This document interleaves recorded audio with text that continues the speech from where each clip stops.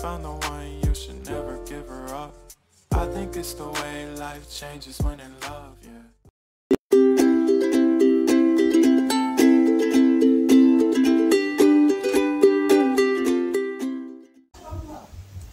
Hi loves! Welcome back to my YouTube channel. My name is Esther Kanja.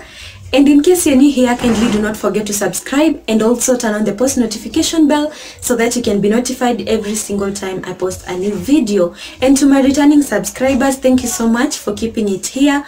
Welcome back. Yeah, so today I thought of doing a sit down video.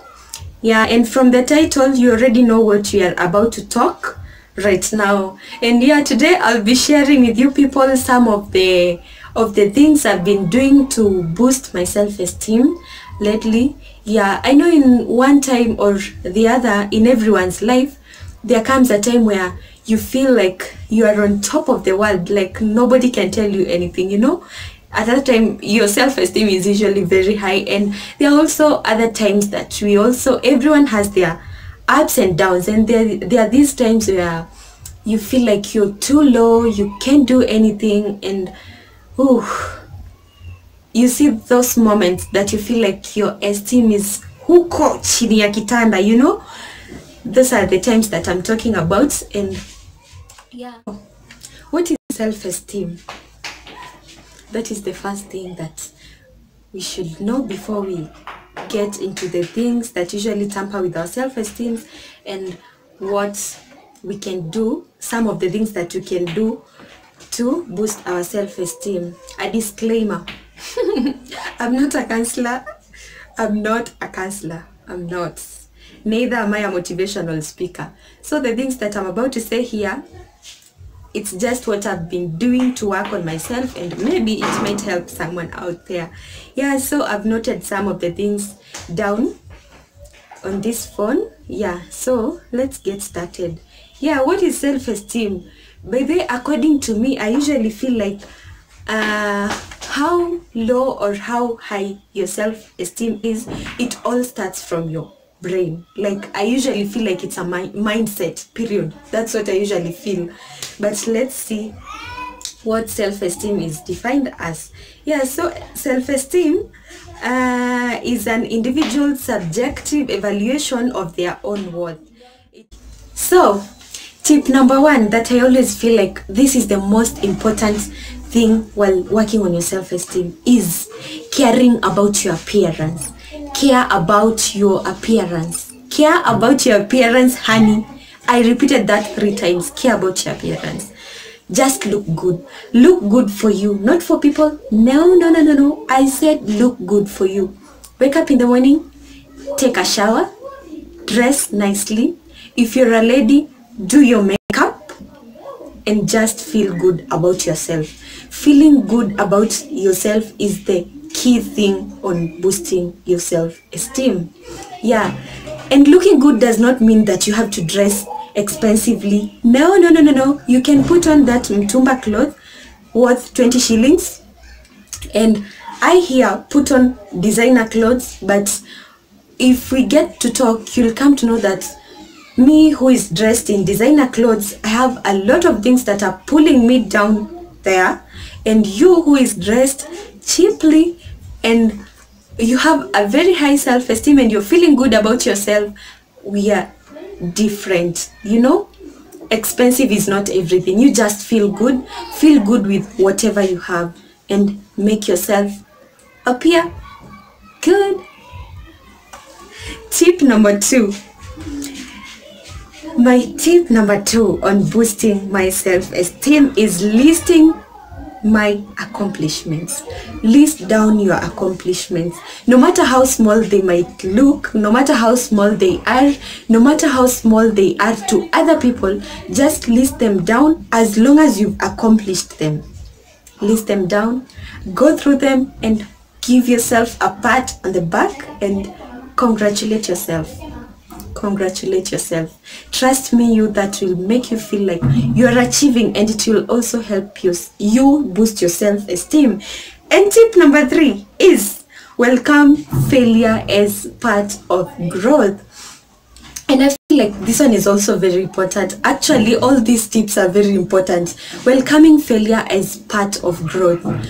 You know it's normal for we human beings being so hard on ourselves once we fail like we, you were so determined to do something and you wanted to succeed then all of a sudden or something just comes in and it backfires. We usually we are usually so hard on ourselves. Okay it's not bad being hard on ourselves but again we should learn how to welcome failure as part of growth. I usually feel like that is that usually helps someone and okay welcoming failure i feel like we we should shift our mind uh, to understanding that failure is always an opportunity to learn.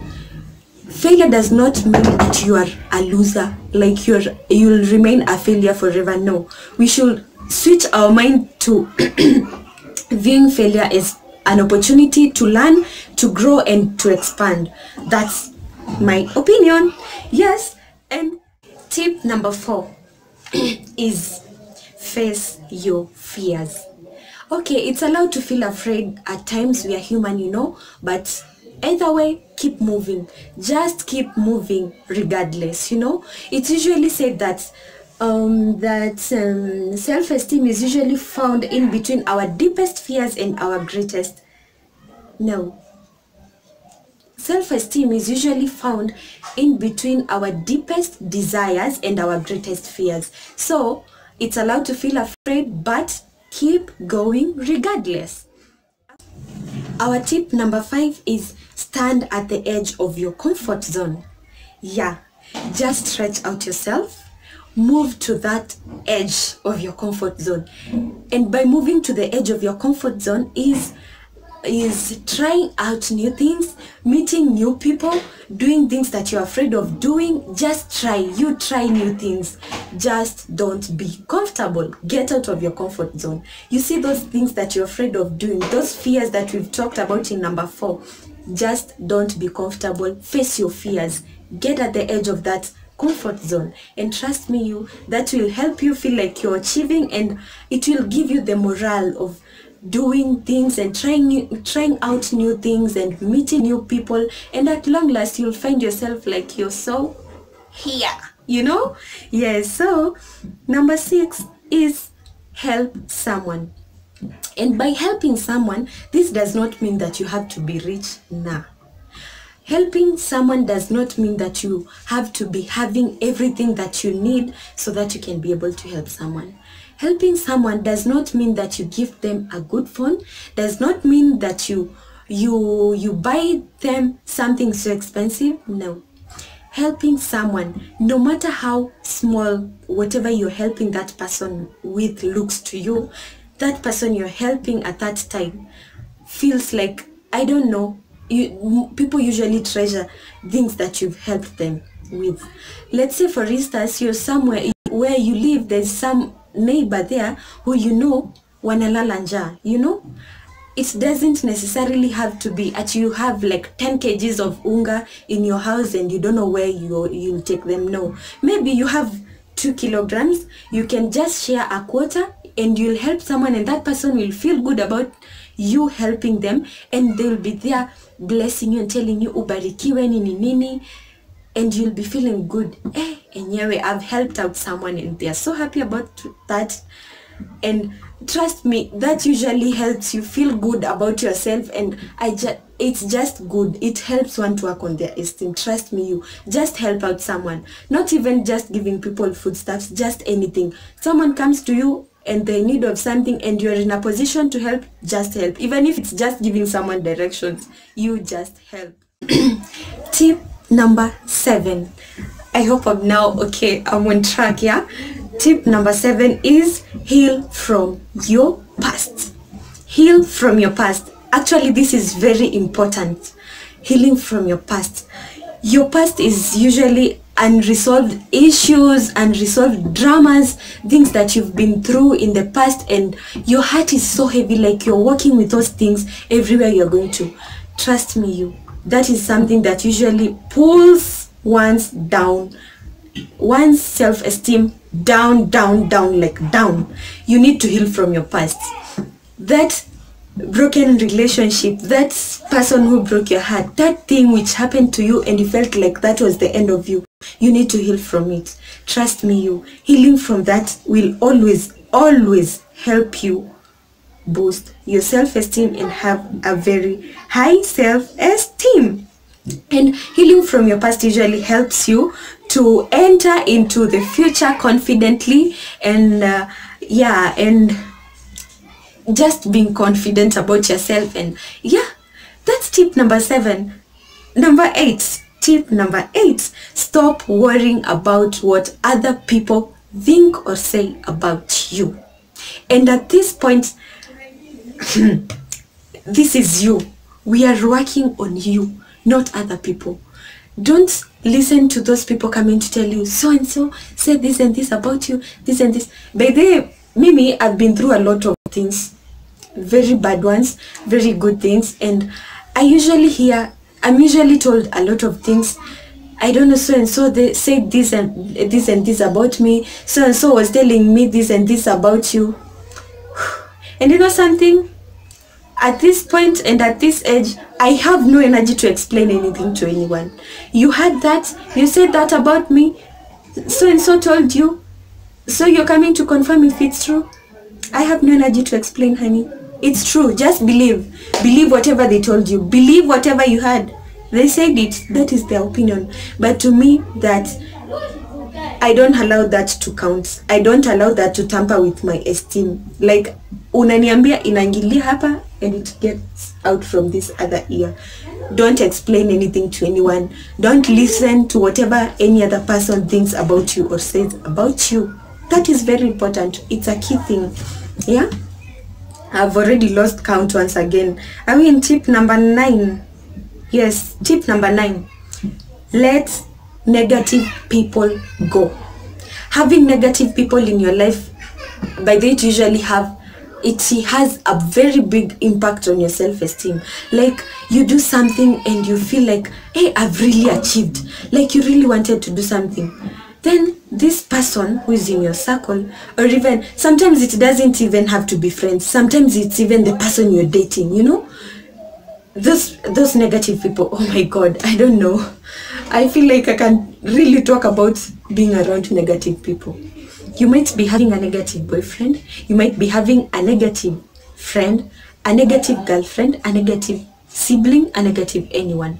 You do something and you really feel good about yourself then that person is there telling you "Mm, hiyo hata si hungeifanya hivi you'd have done it this way. Like really? Who even asked for your opinion? My friend such people you need to cut them off. Cut them off. Negative people just let them go. You can do without them. Trust me you. Let negative people go. Yes. Tip number 10 number 10 and our last tip is always remain a student. Yes. Always remain a student in everything you do. You should always think of yourself as a lifelong learner. Am I making sense? A lifelong learner. Yes, you just everything that you're doing, just approach it with a student's mind.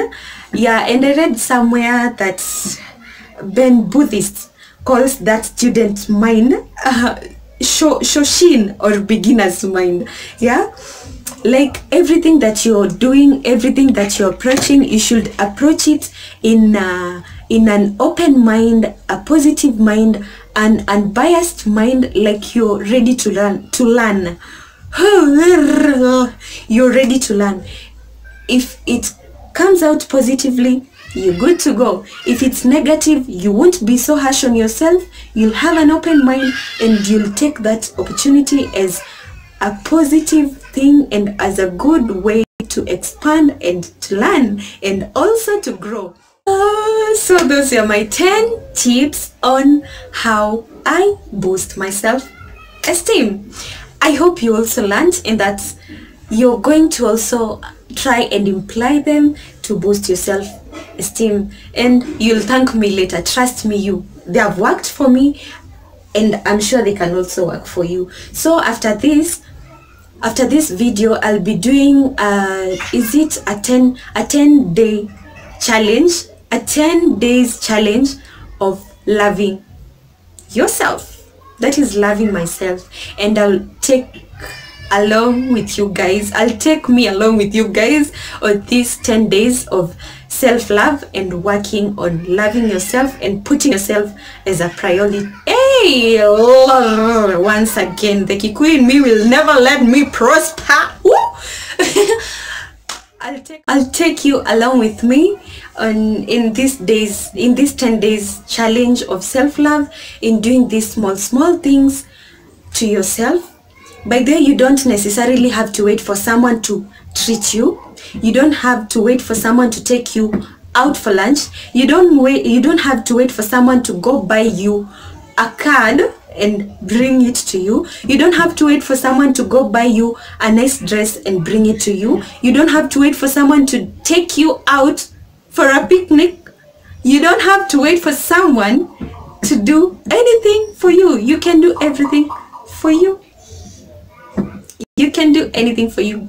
You can do anything for you for yourself. Yes so i'll be taking you people with me. I feel like i'm saying this for the 90th time now yeah so stay tuned for those videos and for those small small self-treat and those 10 days of self-love. Yeah still the next time i upload another video have yourselves a lovely time. I love you guys. Bye. I'm gonna miss you